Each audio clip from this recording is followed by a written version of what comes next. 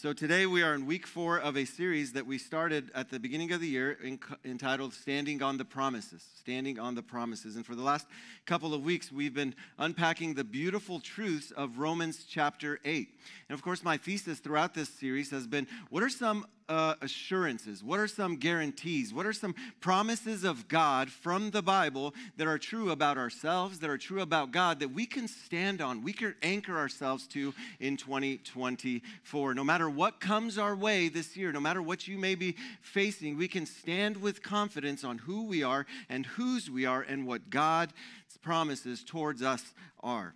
So, if you've been with us throughout this series, a key theme in the entire chapter, you've probably picked up on this, is assurance. And in the first 17 verses, we saw this great assurance of God's people in the face of sin, in the face of our brokenness. We are assured that there is now no condemnation for those of us who are in Christ Jesus. We can be assured that we have been given the righteousness of Jesus. We can be assured that we are children of God. We can be assured that we have received the Spirit of God. And when the Spirit has moved in, we have also received last week the Spirit of sonship. And we are uh, in a new relationship now with God, one where we relate to Him differently. We have a relational approach to God where we even describe Him and, and address Him differently. And, and then finally, we learn that we are heirs. Everything that God has, we have. Everything that Jesus has been given, we have been given. We are co heirs with Christ. These are all powerful truths about God and about what the Holy Spirit has done in us. Now, the second half of Romans that we enter in uh, today, the second half of chapter 8, the focus shifts on assurance, from assurance, but not in the face of sin, but assurance now in the face of suffering suffering. So many have called Romans chapter 8 one of the most significant uh, chapters in the Bible for us to know, which is, which is good news because uh, if we're going to have a, a, a, passage in the Bible that is supposed to be one of the passages that means the most to us, I want to be sure that it addresses some of the real life issues that we all face, including hardship, including pain, including sufferings. And some of us are experiencing those things right now. Some of us are struggling right now. And all of us at some point in life in various ways will experience pain, suffering, now, before we jump into our text, I want to just kind of uh, take you to theology school, okay? Don't let that scare you. I'm going to try to explain it as uh, these big words as, as best as I can, but I want to uh, help you bring some clarity uh, to some theological terms that some people kind of throw around and just assume that everybody knows. But there are three major doctrines to the Christian life. Now, here's the big word alert, so I'll explain them uh, justification, sanctification, and glorification. Okay? Real easy way to remember these is the past, the present, and the future. So justification has to do with the past. That was Romans 8, 1 through 4, where we are made right with God. We have right standing with God because of what Jesus has done on our behalf. So we didn't earn it. We can't uh, earn it. Nothing in our abilities uh, gave us that standing. That was all grace. That was all the grace of God that we receive by faith. Uh, justification means that the penalty of sin has been done away with. We're no longer under condemnation we talked about this uh, uh, in week one. You have been given the righteousness of Christ. So that's what justification is.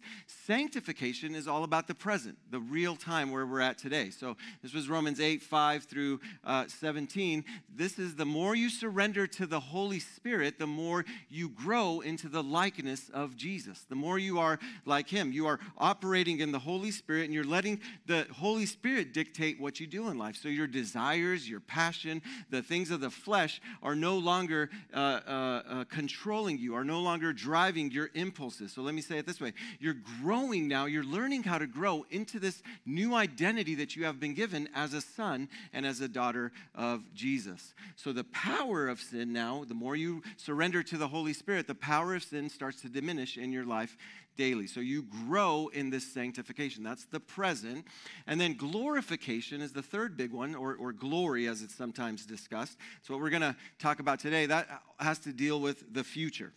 Where one day we'll see God has promised all things are going to be made right. So it's not just that we're free from the penalty of sin, it's not just that we're released from the power of sin, but the presence of sin itself one day will be done away with. And that is our hope That is what we wait for this glorious future that is promised to those who believe in Jesus. And our text today is looking forward to that future hope and that reality for those of us who are in Christ.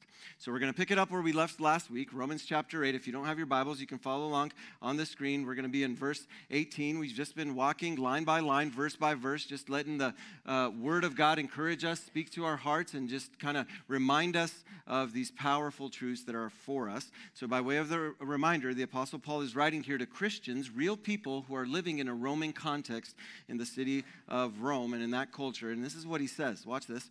Now, I consider that the present sufferings, that word consider there, that, that term in the original language means to compute, means to, to calculate, to, to, okay, what does this equal? What's the bottom line here, right? That's what that word says and it means. And he says, I consider that our present sufferings, the things that we can see, the things that we can feel, all the things that bring us anguish and emotional trauma, all those things that we all wrestle with on a daily basis, all those sufferings are not worth comparing with the glory that will be revealed in us. Now, I want you to notice right off the bat in, in this passage that Paul links two themes together that we probably would never put together suffering and glory. As one commentator put it, um, he said, uh, hurts and hallelujahs. I like that. So, so, Paul is showing us here that as Christians, we are fundamentally a forward looking people. We are looking ahead to the glory coming to those who believe. So, Paul says here, I've calculated, I've thought about this, and the suffering in your life is real. He's not diminishing it, he, he's not minimizing our pain or our suffering. He says, But I've done the math, I, I've done the homework, and our future glory weighs far more than what we are presently suffering. So we have present sufferings and they are real and it's different for everybody, but the weight of the future glory doesn't even compare to what we're dealing with today. Now, in that culture, when Paul would have made a statement like that, uh, the people would have thought about something like this uh, a scale. Because scales often what they did in that culture they weighed things. So when you would buy things you would put something on a scale and then you know whatever weighed more that's how you would make a purchase. And paul is saying listen i know that your current sufferings right? And, they're real and they're painful. you you, may have gotten a bad cancer diagnosis, right? Uh, it's the, the prognosis is not good. So, so you can take maybe like a, a little rock that says cancer and put it on one end of the scale. Uh, the divorce that may be looming or that relational trauma that you may have, it's real. Now we just added another rock. The, the, the job struggle, it's real. It's a weight. Living in a fallen world is taking a toll on you. It's real. The worry that you face, the anxiety that is plaguing your life, the, the depression depression that you're battling, it's real. The, the wayward child that keeps you up at night, that you're just praying for and groaning for and wishing they would return to Jesus. All those things are little pebbles that, that kind of tip the scales. And, and, and the guilt that you may be facing, or, or, or you know, the, the sin in your life that plagues you is, is real, and, and the losses in your life, they're real, right? Uh, just yesterday, I, I did a funeral for uh, a person here at Journey Church, and, and it was a beautiful time of celebration and and it was a beautiful time of remembrance and storytelling. And, and this person lived an amazing life, and, and tragically, cancer kind of uh, ended his life uh, uh, in, in, his, in his 60s. But, but you can feel that right? Like here's this this this amazing man that lived an awesome life, but but cancer was real. The suffering was real. And even though we we, we shared great stories, people still had a heaviness. All those things are real. Now think about this: the scale is tipped in one direction, uh, pretty pretty bad, right? There's a lot of losses. But Paul says here, but hey, I've done my homework. I've done the math. And although the weight of all that, uh, the fallen and broken world that we are living in, I've calculated, I've compared to the glory that is revealed in us, the future day that is coming, the future glory that all of us at one point in time will experience, weighs far more than all these present sufferings we go through. Our future glory is so intense and so phenomenal that it's not even worth comparing. So think about all those little pebbles and all those things that are weighing over here. And now somebody comes with a gold bar and just tips the scales and puts it on that other one. And you just see the scales start to kind of tip and the gold bar starts to uh, kind of rise to the, uh, drop to the bottom because it, it weighs more. That, that's kind of the, what he's saying here. Uh, James Boice, he was a Presbyterian pastor, and he died several years ago, and he says this about this passage. He says that our future glory weighs more than our current sufferings in two ways. One is duration, so it lasts longer, and two is intensity. So the intensity of our future weighs more than the intensity of our pain. James says that the apostle here is saying that when you're going through the intensity of your suffering, just look at the immensity of the future that's waiting for you. Because the intensity of your suffering only points to the great glory, the immensity of what is coming. Because what is coming is so glorious that when we experience here on earth pales in comparison to what will one day be. And so, in many ways, that's often how we calculate things in life. That's how we make decisions, right? Think about this. It's it, duration, is, is it worth it? And intensity. How long will it last? For example, let me give you a couple examples here. When you go to Disneyland, who's ever anybody ever been to Disneyland, right? And you stand outside of your favorite ride okay? Uh, Cars or, um, you know, Splash Mountain, but I, I just heard that they renamed it because it was, um, you know, offensive to some people. Uh, anyway, uh, it's, it's fine. It's, it's cool. But you're sitting there in front of that ride, and it says over there, boom, 60 minutes wait time to get on this ride, right? Now, as you're doing that, you got crying kids, it's hot, you're sweating, you know, it's just it's just frustrating, and you got to make a decision. Is this ride for 3 minutes worth me sitting in this line for 60 minutes of my time? Is the intensity, the pleasure of the ride, right, that three minutes, is it going to be worth the 60 minute wait time? Guess what? Bizarrely, thousands and thousands and thousands of people say, Yes, it is. it's true. but when it comes to our sufferings, the Apostle Paul says actually the opposite is true. Your future is longer in duration and way more intense and pleasurable than your current sufferings. My son Levi, for let me give you another example. He loves dessert. Okay, he has a he has a sweet tooth, kind of like his dad. Well, as a kid, and, and even now, uh, sometimes when, when he wants dessert, uh, guess what we say? He's 11. Got to eat your vegetables first, son. Right? And so what we do is we let him choose. We let him calculate. We let him kind of explore and consider. Here's this cake. It's awesome. It's good. It's, it's homemade. It's, it's the best you've ever had, but you got to suffer through the green beans. right? And if you don't want to suffer through the green beans, then guess what? You don't get cake. So it's, it's up to you. But if you're going to eat the cake and you're going to suffer, uh, you got to suffer through the green beans. And if you don't want to suffer through the green beans, then you don't get the cake. And oftentimes, what we would do just to kind of incentivize him is as he's eating, you know, what he called little green trees, broccoli or, or um, uh, the green beans, as he's eating those, we would just put the cake right in front of him, right? So he's like, he's eating all this stuff, but his eyes are, whoa, this, yeah, he's suffering through the pain because of the future that's waiting for him. It's going to be fantastic. The future glory of that cake, right? It's exactly what the Apostle Paul is doing here, right? In essence, he's saying, keep your eyes on the glory that is about to be revealed to you.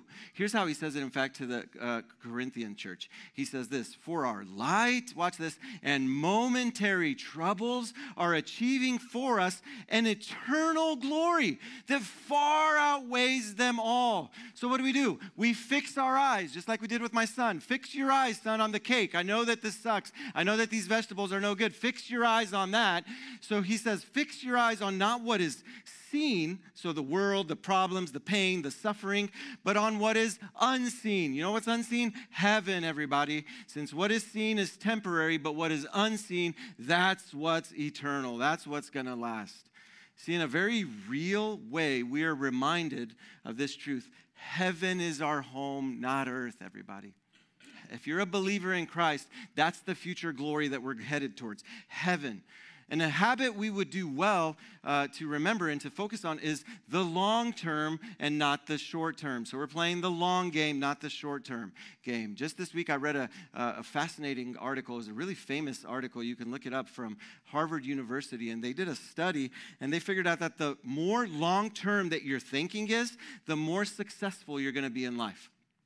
And it said the shorter term you're thinking is, the more failure you're going to have in life. People who are, are, are short term thinkers, they're only thinking about today, they're only thinking about the pleasures of today, they're only thinking about what feels good right now. Their life is not going to be as successful as those who have this long term, long game approach, and, and, and they can see uh, what's coming and, and, and they're going to wait, and they can be, uh, in fact, the article said that they're going to be the most successful people, those that have long term thinking.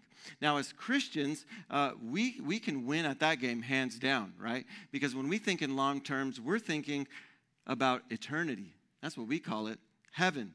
Because we're not just thinking about the here and now. We're not just thinking about this 40, 50, 60 years that, that, that, some of us have left. We're thinking about trillions and trillions and trillions of years into the future. And living in light of eternity, keeping our eyes on that, is the key to being successful here on life because everything wraps itself about into that reality. See, the reason we struggle uh, to wrap our minds around this verse is because many of us are living for the here and now. This earth is not our final destination, and we've lost the sense as believers of where our true home is. Uh, we really have. Listen, everybody, you're just passing through. You're just passing through. This is not your home. We, we really don't live here. We, we're, we're just passing through. In fact, it's, it's one of the best pastoral things I could ever uh, give to you, really, is, is to tell you, hey, I know it's tough right now. I know that pain is real. I know there's struggle. Jesus promised us that that's what it would be like, that life would be tough. He says, In this life, you will have troubles, but hang in there. This is not permanent. Why? Because this is not our home. You're just passing through. I remember uh, growing up, my grandparents, and this is, uh, you know, generations ago, and, and this generation, it, you know, for some reason, getting them this concept is very difficult to understand, but, but our grandparents, you guys probably remember this. Some old church mothers uh, of old, man, what do they always talk about? Heaven. Heaven, heaven is our home. And I could always hear, I can even imagine myself now uh, hearing my grandma say, This earth sucks. I mean, that, those are my language. That was my words, but you know, loosely translated from the Romanian language, okay? but she would say, "This, I'm tired of this earth. Like, there, there's nothing good here. I want to go to heaven. That's my eternal home. You know, and she would always, those old church mothers, I'll fly away, oh glory. Was the last time we sang that song? I'll fly away. He's like, last week. good for you. when I die, hallelujah, by and by, I'll fly away. Man, that's a, that's a big reality. But a lot of us don't see our lives that way. We've really lost uh, that reality. Why? Because we're, we're blindingly too comfortable. This earth has become blindingly too good. See, the better we have it, the more we think this is all that it's about. And listen, I don't blame you. We have it awesome in the Northwest here right? We have rivers, we have mountains, we have trees, we have amazing hiking trails, we have amazing views, we have amazing uh, uh, uh, sunsets and sunrises, we have granola and Whole Foods. I get it. Like, we're awesome here in the Northwest, right? But what Paul is saying here is like, hey, this is not it, everybody.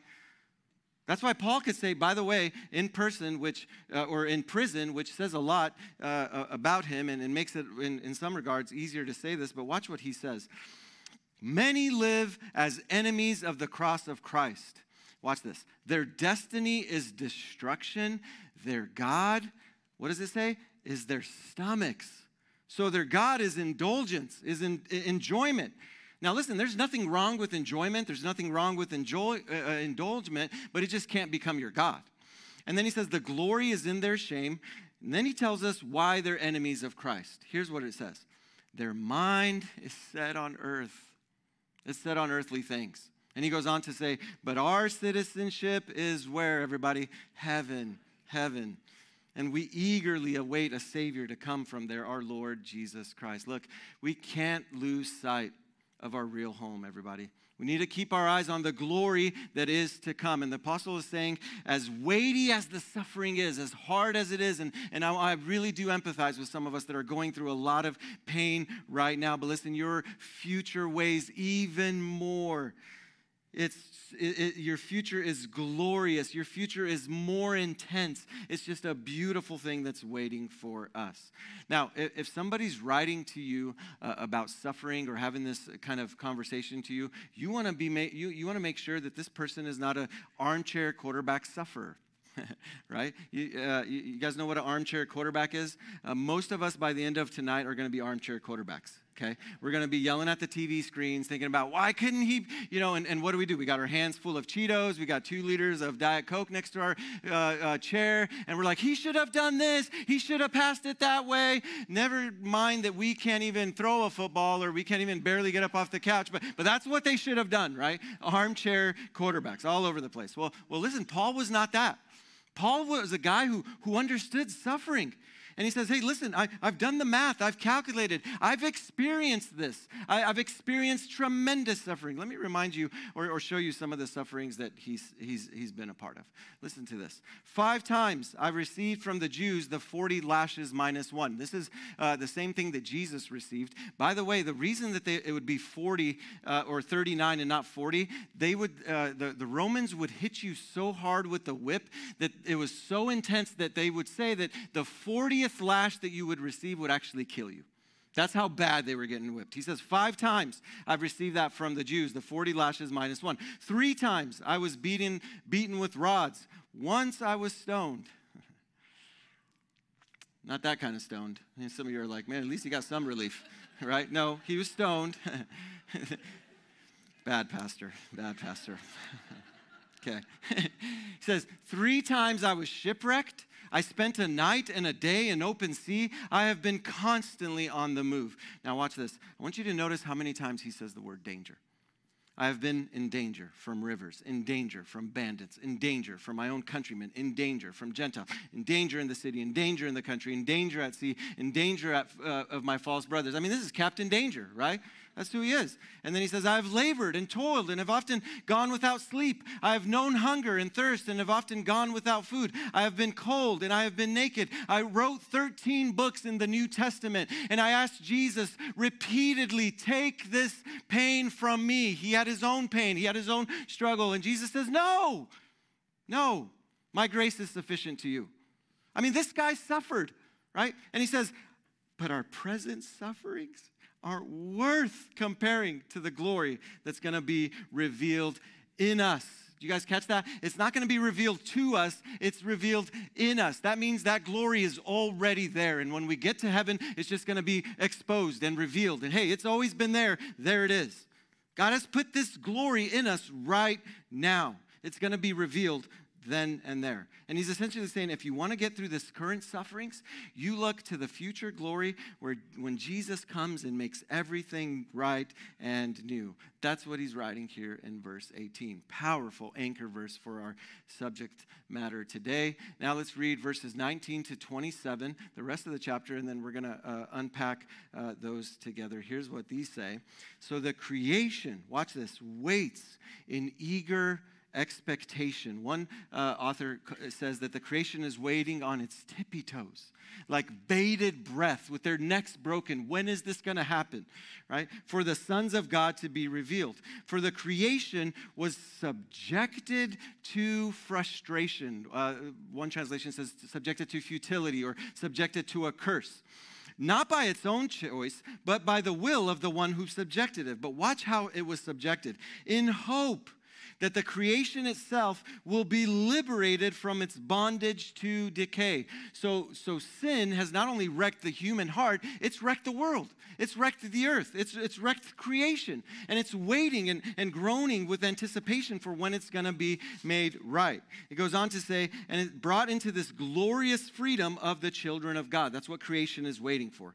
We know that the whole creation has been, keyword here, groaning as in the pains of childbirth, right up to the present time.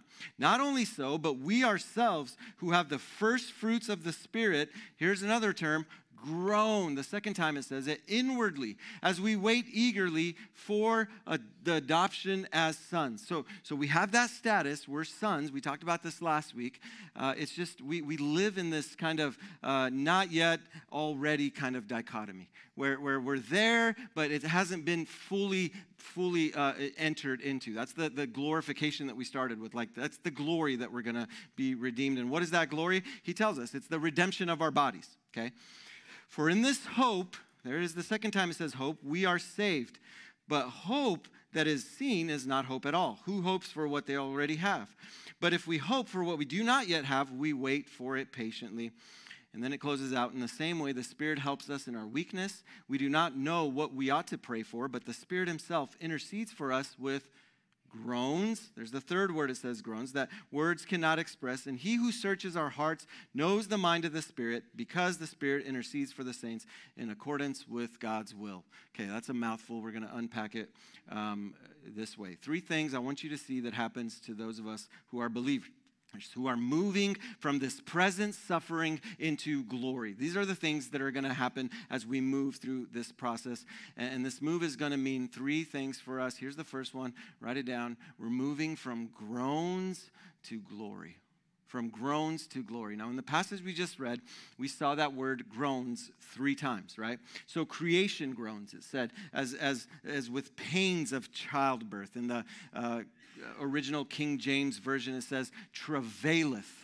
Uh, with childbirths, like the toils and the pains of, of childbirth as it waits for the sons of God to be revealed. And then the passage says that we, not just creation, but we groan internally as, as we eagerly await the redemption of our bodies. And then it says the Spirit of God also groans as well. I mean, there's a lot of groaning going on in the verses we just read this groaning is a longing for things to be made right, for things to be made new, for the things to become perfect again, like God always intended it. And Paul, in, in these verses, describes how, how sin has, has damaged the world. In other words, everything in this world is broken. Everything in this world is not the way that it was originally designed. Everything in this world is suffering. Everything in this world is in pain. Everything and everyone in this world is frustrated and experiencing all these bad things because it was all broken down by sin.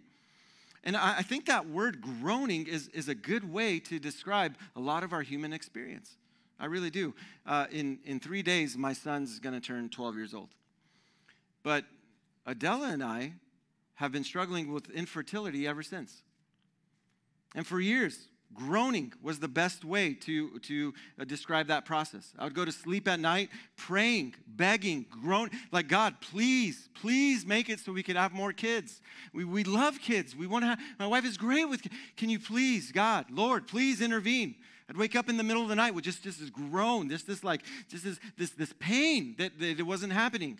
When uh, my wife lost uh, a younger sibling at the age of 23, very tragically, 13 years ago, right? There were years of this groaning, of restlessness, going to sleep uh, at night, just groaning for, man, if I could just have one more conversation with him, if I could have just told him how much I loved him, if I, one more opportunity to show her love to her brother right? There's just this groaning. We all experience this.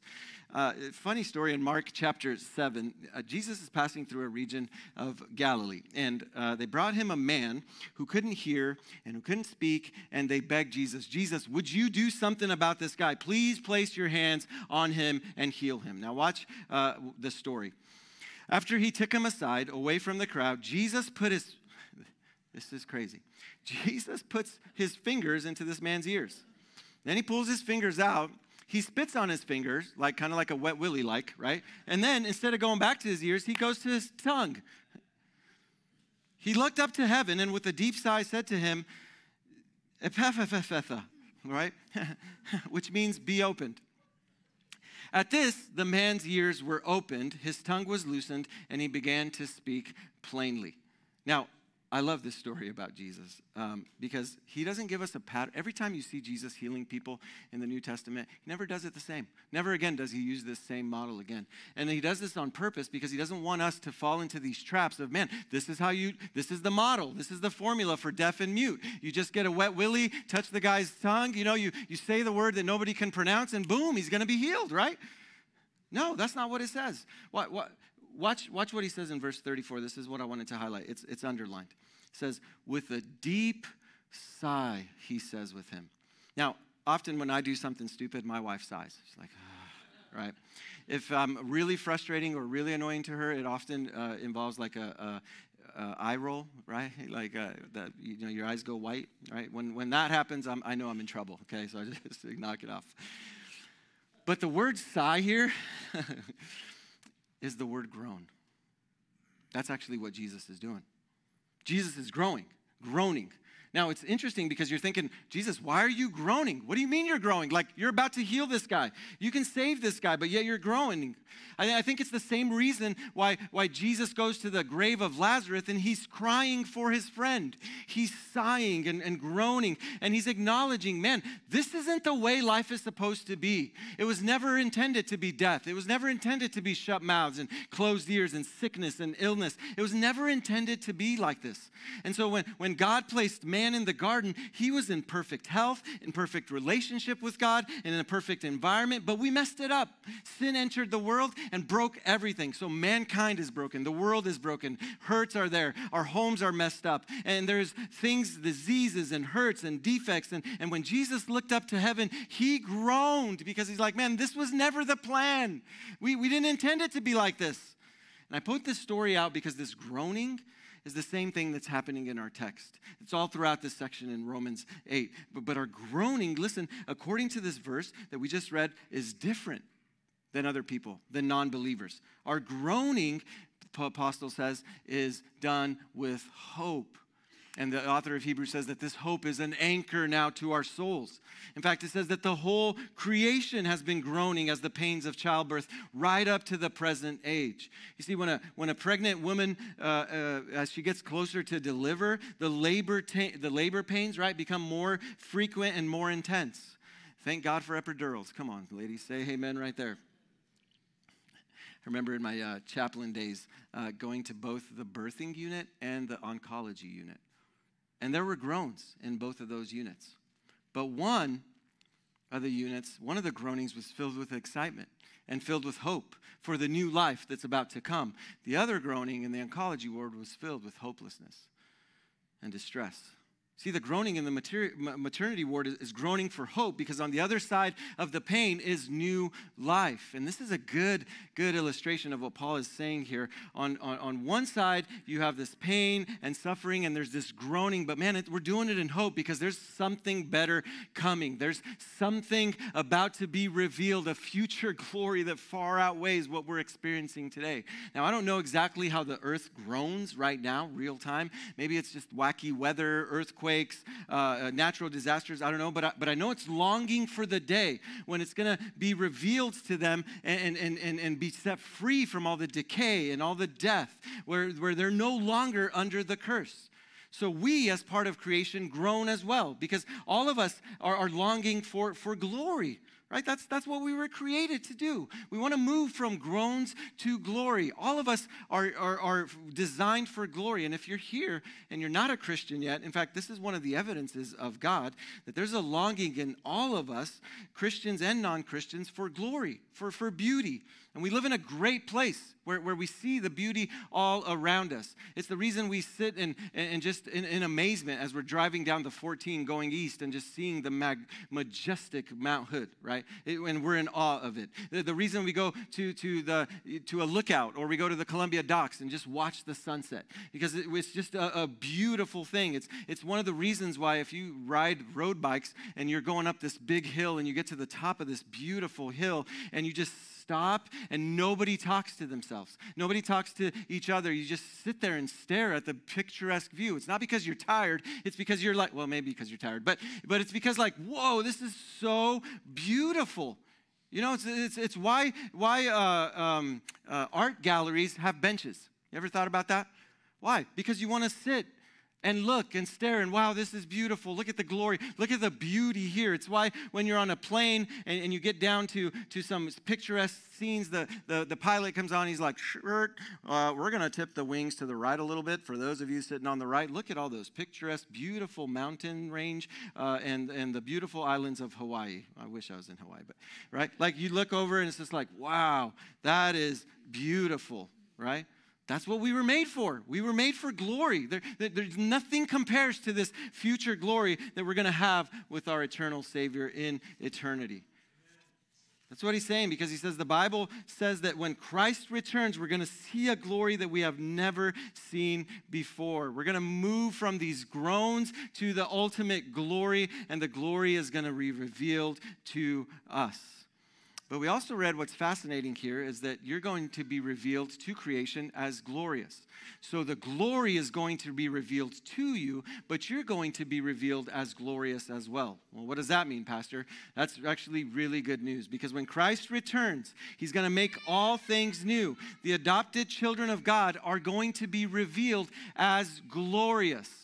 Now, if you were here last week, we talked about the sons of God and, and being adopted, and you may be thinking, well, wait a minute, aren't we already that? Or are we going to be that? Which, which, which is it, right? Well, this is what the Bible is teaching. In the Roman culture, when you were adopted, you were adopted and you were the heir of that person who adopted you. We talked about this last week. But there was a public ceremony that happened. We have those too, where you go to the courthouse and then they make it all official, where everybody got to see who you were. And the Bible is teaching us that when Jesus comes back for the second time, and you have to understand, Jesus came first 2,000 years ago and came to suffer and to die for us. So he identifies with us in our suffering. And we're only Christians because of his suffering for us on the cross. That's what he did when he first came. But when he returns, he's coming not to suffer, he's coming back as our conquering king. And he will rule and reign over anything, and he's going to make everything right and new. He's going to wipe every tear from every eye, and he's going to make all the things right that are wrong with this earth. That's coming. That's the hope of glory. And at that time, it's going to be revealed us as sons and daughters. This is public revealing that's going to be happening. It's going to be glorious. Here's how uh, one of Jesus' dear friends, John, his disciple, says it Dear friends, now, watch this, we are children of God. So it's a reality for us now. And what will be has not yet been known.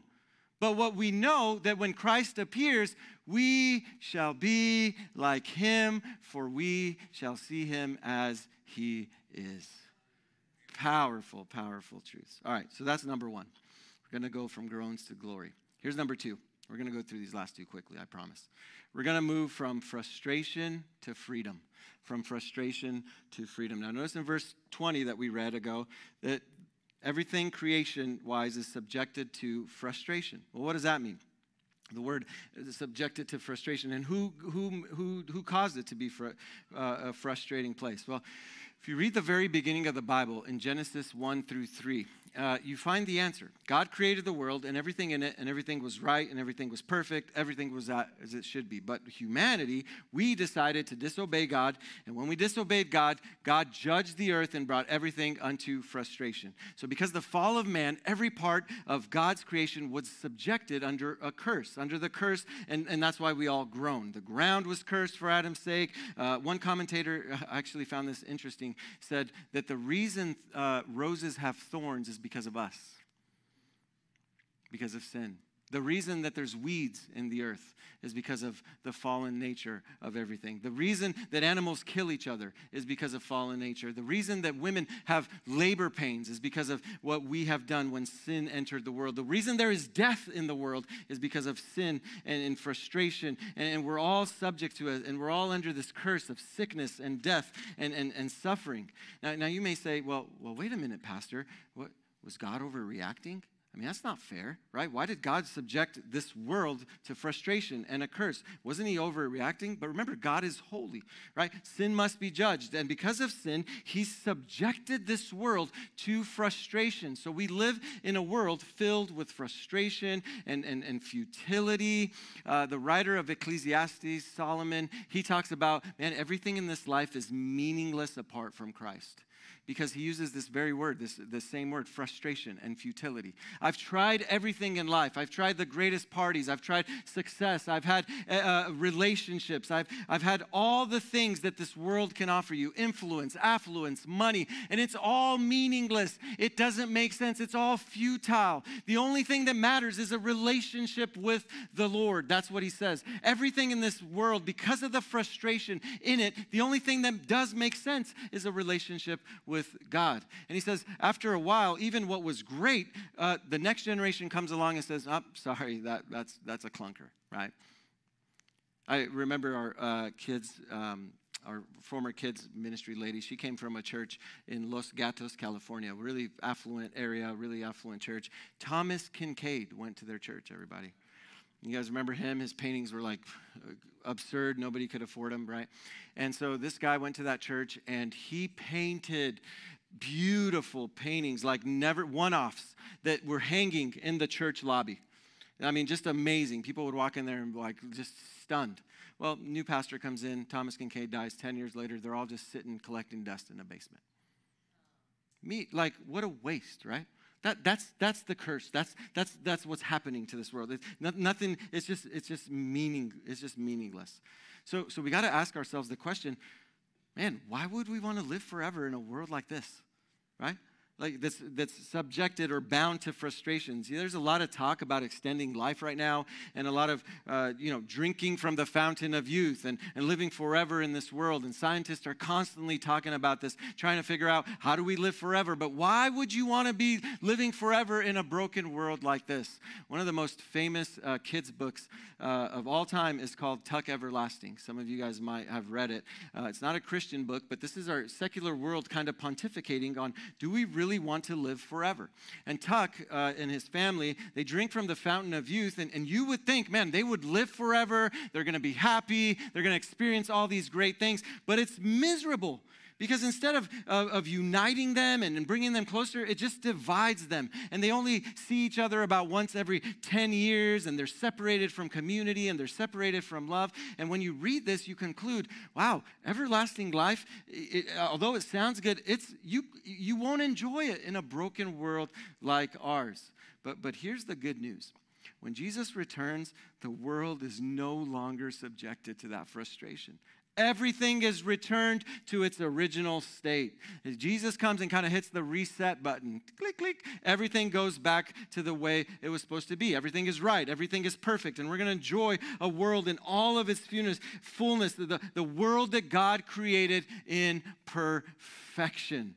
There will be no more death. There will be no more mourning, no more pain. For all the former, the old order of things, the book of Revelation says, are going to be done away with. They're going to pass, and, and the future glory has now come. This is where we're headed. From frustration to freedom. Here's the last one. Write it down, and we're going to close. We're headed from decay to deliverance. Decay to deliverance. I'm going to say something that is a hard truth for me to swallow. And those of you that are over 40, you're like, dude, get with the program. Our bodies are decaying, right? And 20 year olds, if you're under 20 or if you're even under 30, you probably don't understand that, and we hate you for it. Let's just, let's just be honest, right? but, but our bodies are decaying, right? Uh, we're, we're, we're, we're, decaying, but there's going to be a day where even these bodies are going to be redeemed. Not, not to the, their perfect, uh, that we were one day perfect and in our youth, but, but to Christ's resurrected body, a body that is going to, to break down and, and it's not going to break down anymore. And a body that has gained weight is not going to gain weight anymore. And a body that has all these wrinkles and, and white hairs are not going to have all those things anymore. We're going to get our perfect bodies back.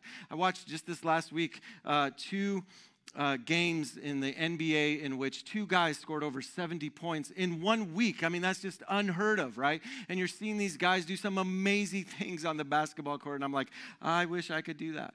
And I used to be able to do that in my 20s, but now forget about it, right? My body is decayed. I, I, don't play as much because I can't hang with the, the young guys, and I just feel like, like I don't know what, I, what I'm doing. But one day is coming when I'm going to be able to do that, everybody. When I'm going to enjoy the things that I used to. And how cool is it going to be that we're going to have these, these glorified bodies from the decay to this deliverance? Uh, Joni Eareckson Tada, if that name rings a bell, uh, she was uh, paralyzed as a teenager in a, in a freak um, diving accident. She's actually one of the very first books I ever read that my mom gave me to read. Uh, it was just called Joni. And here's what she says about her being in a wheelchair for all these many years. It's really fascinating. She says, When I get to heaven, I'm going to push my wheelchair to the throne of Jesus. And she says, Notice, I'll be walking. I'm going to thank him for every character refining work he did in me and through me because of this wheelchair. And then I'm going to ask Jesus to send that wheelchair straight to hell. right? I love that. Some of us are going to be like, Jesus, I know that you gave me this, and I wish I was 7 1 and I was playing in the NBA right now, but I'm a 6 1 white guy that's slow. I get it. Throw that straight to hell, right? Give me this like delivered body. I want to be awesome in, in, in your presence. Because it was only needed, watch this, she says, relevant because, man, wreckage of sin. And a day is coming, Romans 8 says, when we're not going, uh, not only is he going to make this world perfect, but your body is going to be made new and everlasting and perfect. Your current sufferings are not worth compared to the glory that's going to be revealed in us. When Christ returns, we're going to make everything new, and all these struggles are going to pale, pale in comparison to the future hope that will be revealed to us. It's what he's saying here. Okay, this is what I'm going to close with. We're uh, kind of running short on time here. It's a beautiful truth tucked away in this. Because we're anticipating these things to happen. We're moving into these things that, right? But, but they haven't happened yet. But there is some encouraging news. Watch, watch the, how it ends. We don't know when the future is going to happen. We don't know when Christ will return. I believe we're at the end season, the end of the end times, right? Jesus could come back anytime we see it. But we don't know exactly when the day is coming. But, but watch who's with us every step of the way, no matter what comes our way. In the same way, the Spirit helps us in our weaknesses. That, I mean, it's just such a beautiful picture. That even in the struggles, even as we wait, even as we groan, even as we toil, even as we're like decaying physically, even as we see the world kind of crumbling, even as we see everything around us just in frustration, futility, curse, the Holy Spirit is in us and He's helping us in those weaknesses. I love it. And then he says, but there's a specific weakness that sometimes gets the best of us, and he tells us what that is and how the Holy Spirit helps us. He says, we do not even know what we ought to pray for, but the Spirit himself intercedes for us with groans that words cannot express. There are some things in us, there are some prayers, there are some challenges that we don't even have words to. We don't even know how to express them, and, and we don't even know what to say, and we're so torn. And, and that's when Holy Spirit is activated. That's when Holy Spirit comes and, hey, I got you. I know what to say, and I'm going to groan along with you because I know what's in your spirit. And the one who searches our hearts knows the mind of the Spirit because the Spirit intercedes for the saints. And I love this last part in accordance with God's will. So he's praying God's will over you because what often happens, okay, I was debating whether I should show this. I'm going to show it. it's a little clip, okay? This is the, oh my gosh. Okay, I'm going to get in trouble for this. I'm sorry, but just watch this. This kind of expresses this lady's excitement about what's happening here. Okay. Holy Spirit, activate. Oh, no. Holy Oh, no. Spirit, Oh, no. activate. Holy Spirit, activate. Activate. Activate. All right, let's go.